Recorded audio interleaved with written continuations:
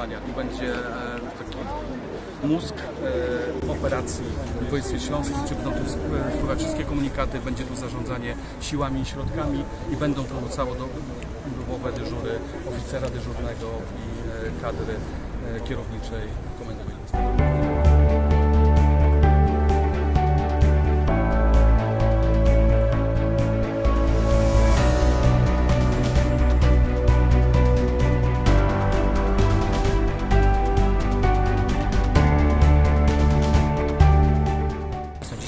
Dzisiaj mówimy o 13, o 13 samochodach w ramach zakupu dla Państwowej e, Straży Pożarnej, czyli dla komend powiatowych oraz dla e, Komendy Wojewódzkiej.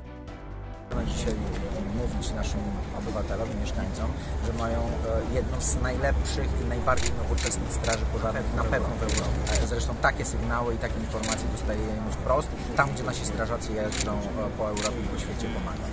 I to jest e, duma, ale oczywiście oprócz tego sprzętu najważniejsze są klasa, wyszkolenie, umiejętności, ten profesjonalizm to, e, to jest coś, co daje codziennie bezpieczeństwo naszym mieszkańcom.